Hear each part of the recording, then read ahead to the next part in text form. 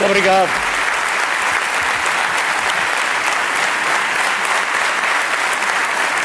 Muito obrigado.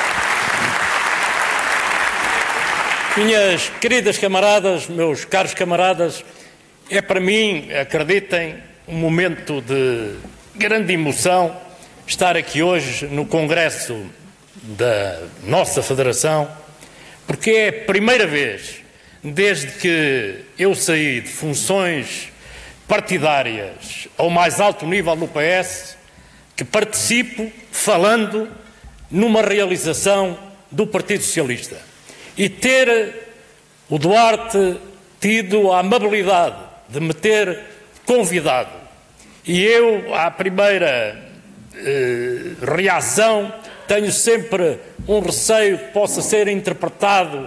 Lá vem este artista outra vez aqui para esta vida e procuro sempre andar um pouco longe das vidas partidárias, não das, das vidas cívicas, que isso aí tenho uma atividade forte e intensa, mas pensei e com sinceridade agradeço aqui o convite e acho que não podia ser um sítio melhor do que aqui nesta realização, no Congresso de uma federação onde eu passei, na sua liderança, os melhores anos da minha vida política.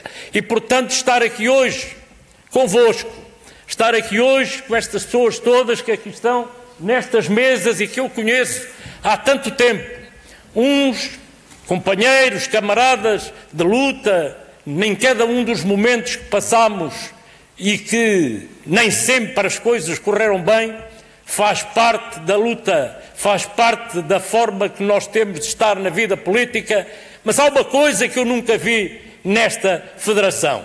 Correndo bem ou correndo mal, sempre encontrei aqui a força de lutar sempre para que o dia da manhã fosse melhor. E é por isso que os resultados são aqueles que todos nós vemos alcançar para criar condições, na verdade, para que o Partido Socialista seja um partido cada vez mais forte, um partido com cada vez maior ambição e hoje o tempo que aqui estive, a qualidade das intervenções que eu fui ouvindo, vejo que é um partido cada vez também mais qualificado. E isso é fundamental para o nosso futuro coletivo.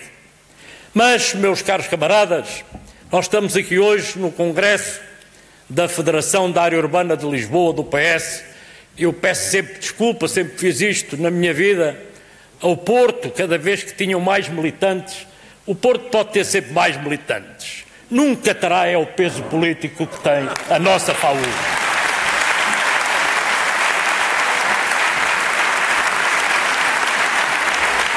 Faz parte da nossa história, não há nada a fazer. Uma federação que teve como presidente o nosso atual primeiro-ministro, eu não posso dizer outra coisa que não seja essa questão. Foi ele e outras personalidades com destaque na nossa vida pública.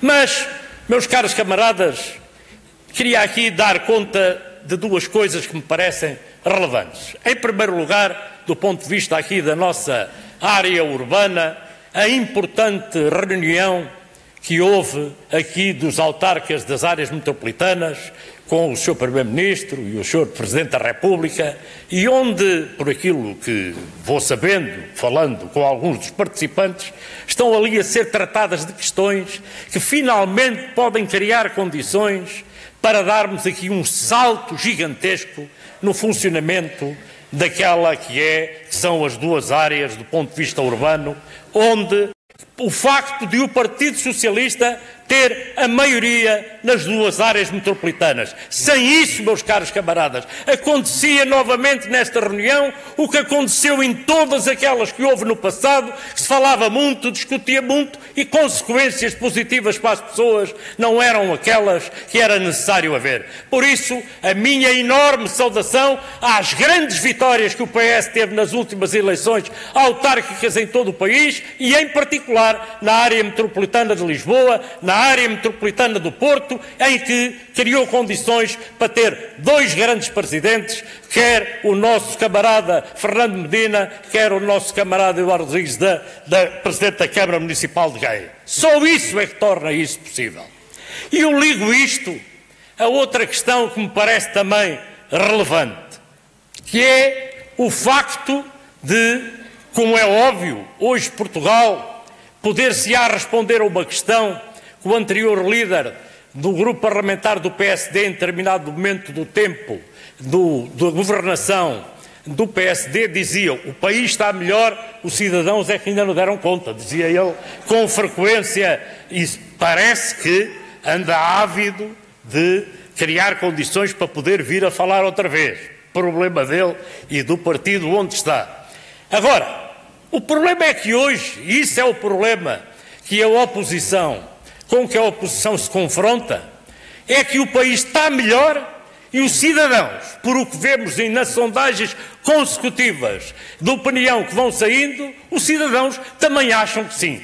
Há aqui algo que se conjuga para que haja outro tipo de condições para criar outra forma de encarar o futuro. E eu queria aqui dizer uma coisa que tem a ver com a terra onde estamos, Sintra. Eu sou, vivo aqui, eu tenho três terras. Trabalho em Lisboa, vivo em Sintra e a minha terra, a sério, a sério, do ponto de vista do meu coração, é o interior do país, é Mangual. Portanto, ando nisto numa volta louca, que isto algum dia pode dar para aí algum sarilho, mas espero que não. Bem, e quero aqui dizer eh, algo que me parece relevante. O Partido Socialista tinha sido durante anos uma força de grande relevância aqui em Sintra. Depois passou aqui uma época complicada. Não nestas eleições, mas na outra, ganhámos as eleições mesmo à tira, com um grande trabalho do PS e com uma grande liderança, com o seu prestígio que trouxe a Sintra, o nosso amigo Basílio Horta. E nestas eleições ganhou as eleições por maioria absoluta. E é importante referir, numas modestas funções que eu agora aqui tenho no Conselho, eh, procurando ali acompanhar as atividades do Sr. Presidente da Câmara, tudo para o bono, que é para não haver aqui nenhum problema. Tudo para o bono, tudo para o bono. Fizemos um encontro há pouco tempo com empresários daqui e, preparando aquilo que ia dizer, cheguei aqui a uma conclusão, percebendo claramente uma das razões de fundo por qual ganhámos aqui as eleições por maioria absoluta. Bem, e as razões de fundo têm a ver também com as razões de fundo pela qual o Partido Socialista está à frente nas sondagens. É que sabem porquê? Sabem qual é a taxa de desemprego que há aqui neste Conselho? 5%, meus caros amigos. 5%. A taxa de desemprego a nível do país tem descido, é um dos pontos fortíssimos da atividade do governo, mas ainda está um bocadinho acima do 7, 7,1, 7,1, já vai em 5. Sabem qual é o conselho do país onde desceu mais a taxa de desemprego jo jovem? Em Sintra. Sabem qual foi a diminuição do rendimento social de inserção aqui em Sintra? 27%. Sabem qual foi, digamos, aquilo que é um fator importante, que é o desenvolvimento económico que houve aqui em Sintra? Sintra é o terceiro conselho do país que tem mais empresas. Sabem que a, a, força com que têm vindo empresas de alta tecnologia para haver emprego qualificado aqui no Conselho é das maiores do país. Ou seja, há aqui um conjunto. Bem, esqueci-me de uma coisa que é muito importante, mas esqueci-me do propósito. É que o aumento do poder de compra subiu nestes últimos quatro anos 37% aqui no Conselho de Sintra. Ou seja, eis as razões porque é que os cidadãos mais não fizeram de que reconhecer à Câmara de Sintra, ao seu Presidente, à sua equipa, ao Partido Socialista, as razões porque lhe devia dar confiança para que pudessem ir mais longe no futuro.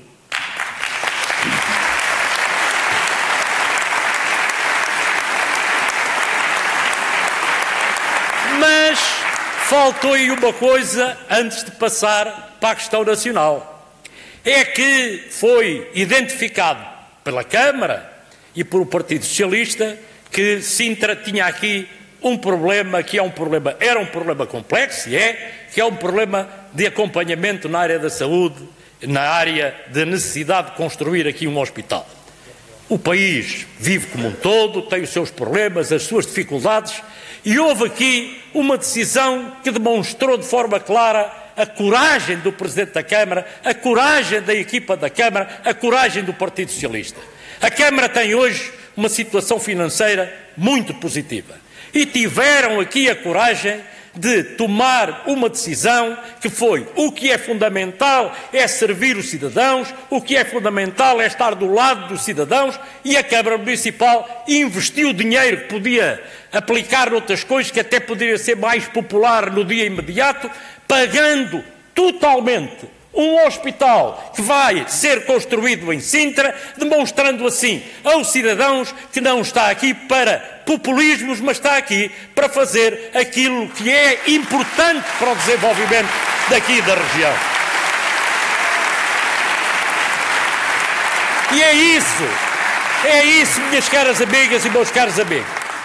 É central nós não fugirmos daquilo que é o ADN do Partido Socialista desde a sua fundação. E o seu ADN tem a ver com estas decisões. E o seu ADN tem a ver com as decisões que o Governo, que o Primeiro-Ministro António Costa tem tomado naquilo que é a sua atividade governativa. E permitam que eu diga isto, e que ninguém leva mal, nomeadamente o seu Primeiro-Ministro António Costa.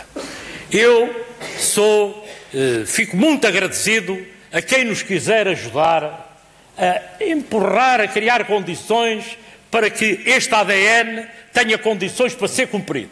Mas há uma coisa, meus caros amigos, que eu vos digo: quem é o grande responsável de que hoje a vida em Portugal, a vida dos portugueses é melhor, é António Costa e o Partido Socialista como líderes de todo este processo.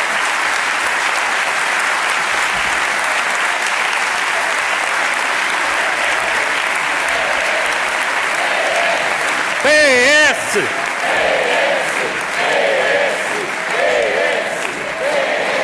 Eu agradeço muito a quem nos ajuda. Agradeço muito a quem está conosco em momentos que precisamos de apoio. Agradeço muito.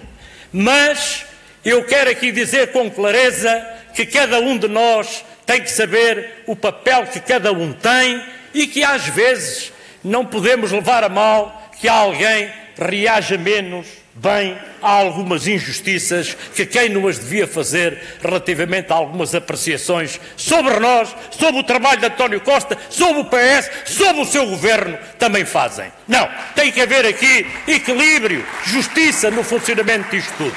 E passo daqui para uma coisa que eu acho que neste momento é a coisa mais central que há aqui no país. Meus caros amigos, nós estamos em guerra. Estamos em guerra contra os fogos. E estamos em guerra contra os fogos porque foi o problema mais complexo que tivemos na sociedade portuguesa até hoje. E eu quero aqui dizer com orgulho, com orgulho, já o disse publicamente, tenho referido publicamente onde posso, que eu tenho muito orgulho naquilo que o governo está a fazer naquilo que o Ministro da Administração Interna, nosso camarada Eduardo Cabrita, está a fazer um lugar extraordinário como Ministro da Administração Interna. Eu já fui Ministro também daquela área, como já foi o António Costa, e sabemos bem a dificuldade do que é trabalhar ali naquele Ministério e saber uma coisa que para mim, eu hoje, com sinceridade, ando um pouco irritado com o que tenho ouvido. Sr. Primeiro-Ministro, não é conosco, não é conosco Antes, pelo contrário, é com todos aqueles, e repito, todos aqueles, que esquecendo-se daquilo que foi a tragédia da morte de cento e tantas pessoas naquelas datas, não são capazes, de um momento para, momento, de deixar de, de ter como prioridade central os seus interesses partidários e verem que o país tem que ter aqui uma causa nacional. E se há causa nacional é este combate contra os incêndios E esta guerra tem que ser travada hoje, que ainda está a chover, para que, quando vierem os fogos, o país esteja dotado de meios humanos, de equipamentos e, acima de tudo, de algo que já é uma grande vitória do país e do governo, que é este levantamento nacional que está a haver de limpezas das matas em Portugal, com uma força que nunca tinha existido no país. É uma grande vitória do país, é uma grande vitória dos portugueses e é uma grande vitória do governo e do Primeiro-Ministro António Costa.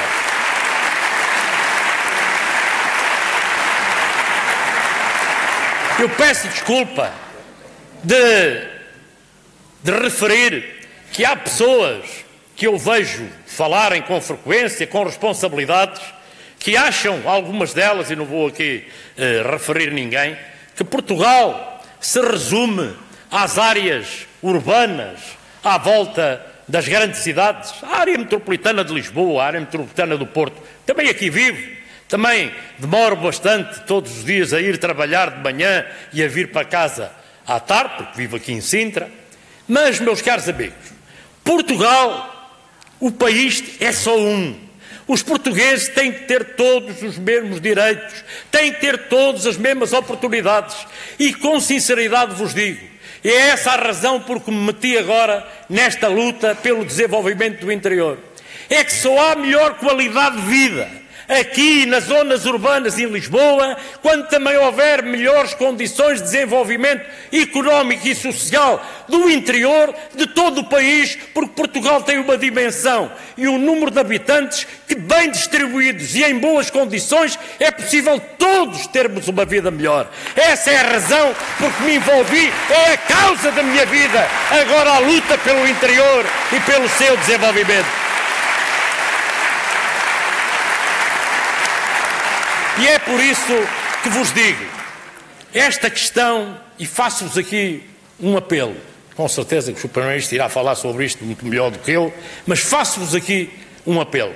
É que esta questão da luta política à volta da questão dos incêndios é determinante para tudo.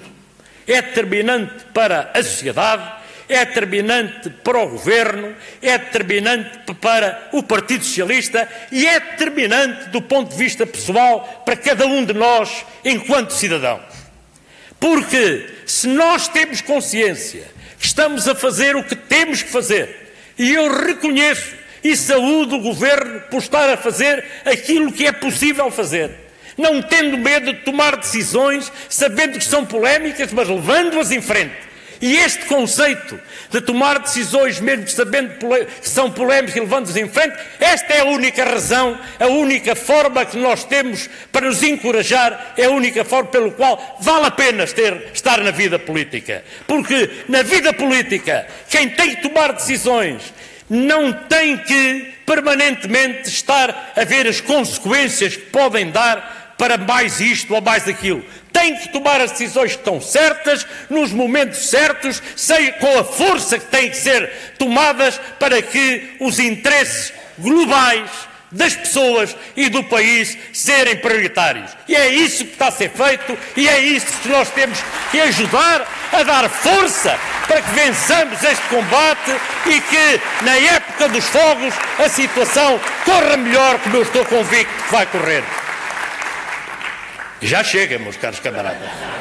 Eu deixei para o último as saudações que quero fazer e quero aqui fazer uma saudação especial aqui ao Eduardo Cordeiro.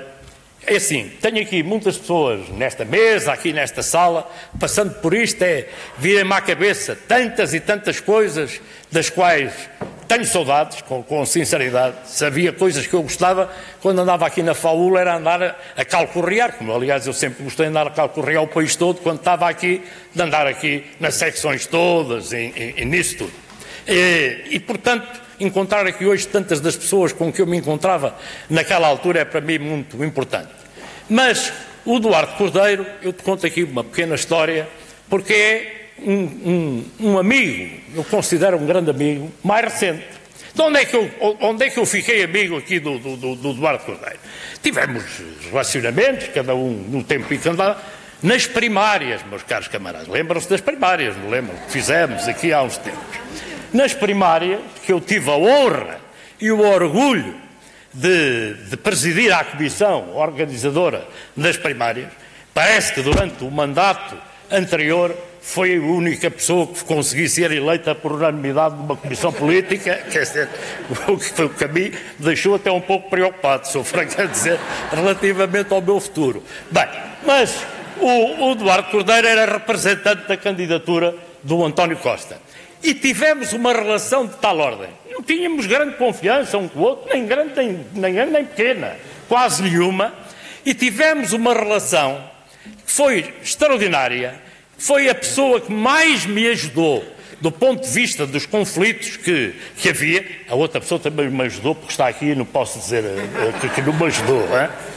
Pelo menos eu vi há bocado aqui à, à, à, entrada, não sei se ainda cá está ou não. Bem, uh, e o que é um facto que, é que eu vi naquela altura, uma coisa que me pareceu fundamental, que é, para mim, um dirigente político um líder político consegue, no exercício das suas funções, permanentemente separar aquilo que é fundamental do que é acessório para atingir um objetivo, é para mim uma das coisas mais importantes nas características de alguém que está na vida política. E o Duarte tem essas características que farão dele, fazem dele, um grande dirigente político e, portanto, eu acho que mais uma vez, a FAUL está em boas mãos, como esteve em boas mãos no tempo do Marco, do Joaquim Raposo e de outros camaradas, do António Costa, não posso estar a esquecer do António Costa também, bem, e de outros camaradas que aqui estiveram. Portanto, meus caros camaradas, é aqui um despeço de vocês com muito carinho, porque também isto hoje faz muita, muita parte. Uh, a questão das afetividades, e não é por causa do Presidente da República ser o rei dos afetos. Quando ele começou a ser rei dos afetos, no Partido Socialista já estávamos muito treinados em afetos, faz parte da nossa história.